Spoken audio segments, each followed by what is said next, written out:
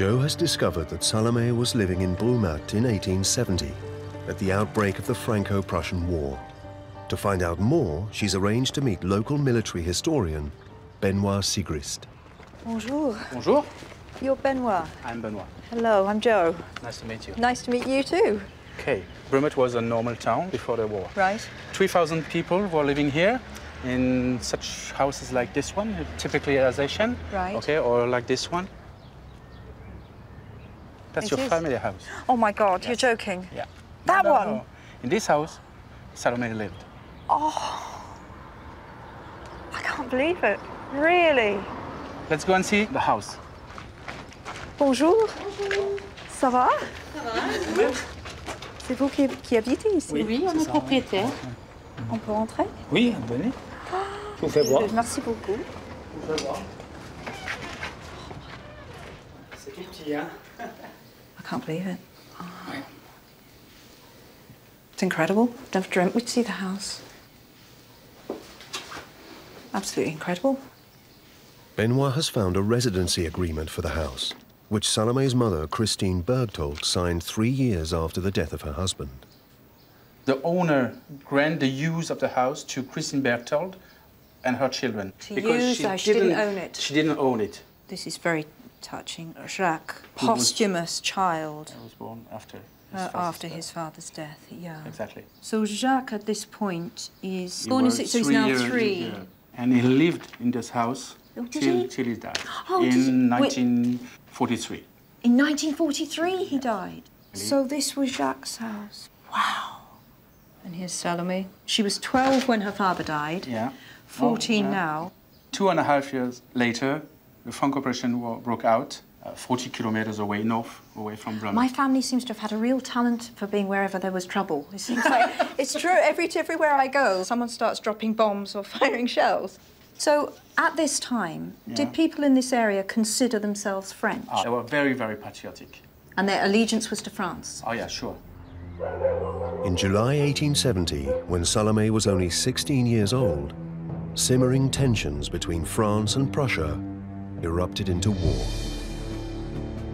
Although Alsace had been part of France for 300 years, the Prussian Prime Minister Otto von Bismarck wanted the province back as part of a new German empire. On the 6th of August, the French army confronted Prussia and its allies at the Battle of Wörth in northern Alsace, only a day's march from Brumath. There were 80,000 German soldier on one side and 45,000 French soldier. And it's one of the bloodiest battles of the Franco-Prussian War. In 10 hours, there were 20,000 people who died in 10 hours. 20,000. The French army Yes. was cut in two, and one part go south through Brumath to go to Strasbourg. I see. Okay, the mayor from Brumath wrote exactly what happens. Here you have translation. In the evening, the first troops which had fled from the French army arrived in Brumath, saying everything is lost.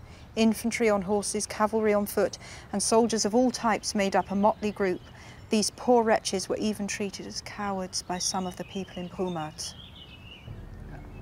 It's very possible that um, Salome and her family were seeing these troops pass under their window.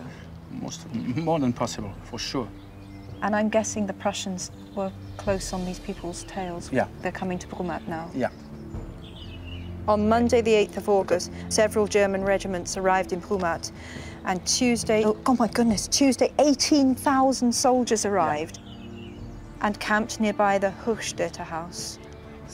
18,000 soldiers descend Here on this area- tiny little town. Yes, 3,000 inhabitants. This is an invasion to them. For, There's- for, ah, for them, it's, a, bits- it's clearly an invasion. My great great grandmother, what do you think it would have been like for her?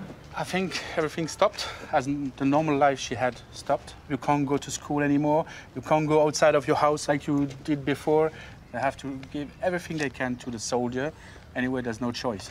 Yeah, of course. there's no choice. yeah, under pain Soldiers of are death, coming, presumably. coming into, into the house and say, okay, we take eggs, we take milk, we take everything you have. It was so very, I very feel- it just feel like she had trauma upon trauma. Yeah. She loses her father at 12. They have a very brief period of security. Exactly. And then the town's invaded. Yes, and The people here, and Salome also, I think, and her mother, don't absolutely don't know what will happen at the end of the war. Every day. The fate of Salome and her family rested on the defense of the Alsatian capital, Strasbourg, where the remains of the French army had taken refuge. Using Brumath as their base, German forces besieged the city for six weeks. They fired almost 200,000 artillery shells into Strasbourg, destroying much of it and killing thousands of men, women and children. Many of the German soldiers who died in the siege were buried in Brumath. At the end of the siege, 27th of September, everybody here in the area are in expectation what, what will happen on the 8th of October. The real announcement came, Strasbourg ist und bleibt Deutsch. Strasbourg is and will remain, Remain German. German, exactly. Would it be true to say then that on the 8th of October, my family effectively became German? Not for sure. Because months later, at the Treaty of Frankfurt, Uh-huh. it was a treaty between France and Germany, there was an article who said that people can choose whether they want to remain French or they want to become German. Right. The problem is Bismarck said, okay, you can choose, but if you remain French, okay, goodbye. Leave your place and go Go to France. to France. Oh, that choice. That- that was a choice. That's great, isn't it? They were called the optants. The optant. and they had to sign a paper. So if you want to know if your family became German or remained French, I've got to find the opting paper. exactly. Under the harsh terms of Bismarck's choice, 125,000 people, almost 10% of the population of Alsace and the neighboring province of Lorraine, gave up their homes and livelihoods to remain French and left. The rest, mostly poor peasant farmers dependent on their land, became citizens of the new Germany. I started this very much thinking I was going to look for my French roots. And now I discover there's a possibility that those French roots might have turned German at some point. I'd love to think they made the decision to remain French. I think it would have been very brave, but um, that might be a step too far for a family that was living, I think, on the very verge of, of extreme poverty. So um, maybe we are more German than I thought.